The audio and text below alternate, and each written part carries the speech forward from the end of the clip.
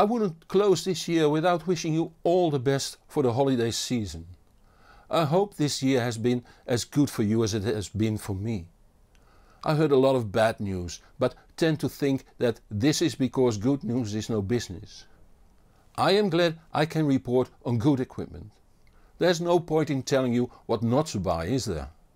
Nor do I report on equipment of audio past or equipment of audio to be. I report on audio present and then only the streaming equipment that I expect to be very interesting for you. That I have done in over 200 videos now that are watched 3.3 million times in 160 countries all over the world. So let me end this video with my wishes in as many languages as I could find. See you next year.